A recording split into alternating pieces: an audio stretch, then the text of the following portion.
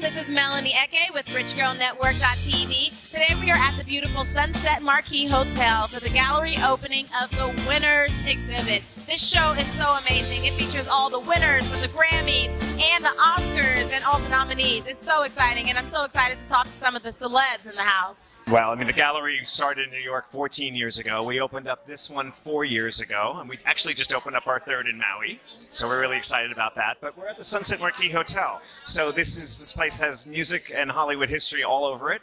It's just part of what we are about. Um, we collaborate with the hotel and do these events every month. So we do something that's a little bit bigger than just coming into the gallery and looking at pictures. We invite people, we have live music, we have hors d'oeuvres, we have um, a, a, film footage, video footage that we compile and, and project over the pool. So it's kind of exciting.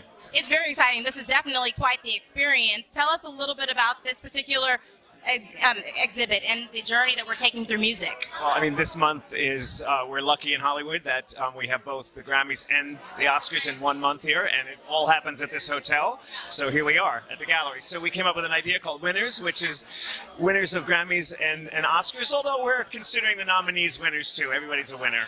That's very true. So that's kind of exciting. But um, so we just put it together and curated, and it's really a great exhibition. The other thing is that John Varvatos is, has sponsored us. Vintage Trouble is performing tonight.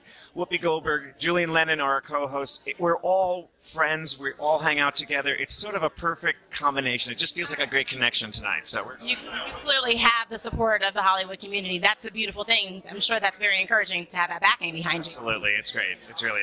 Let's get into some of the pieces here. We are standing behind one of your very own. We have a a piece of Jay Z here. Can you tell us a little bit about this piece? Well, it's funny. I shot this in 1988. Jay Z was 18 years old. I believe he didn't even have a single out at the time. I was shooting another artist by the name of Jaz-O, and, and Jay showed up at the shoot, and then I pulled him aside and did some things of him. So I just rediscovered the image.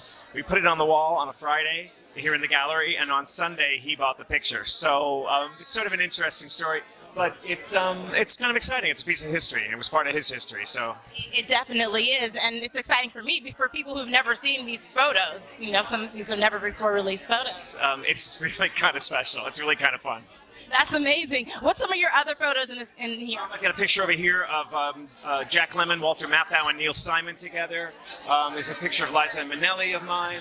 Uh, there's a picture of Angelina Jolie over here. So um, a lot of both Grammy and Oscar winners. So between the Grammys and Oscars, which is your favorite award show? I like them both.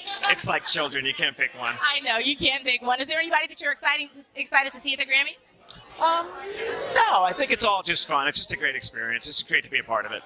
Yes. Well, thank you so much for bringing this to us, and thank you so much for sharing your art with us. We really appreciate it. Appreciate it. Thank you.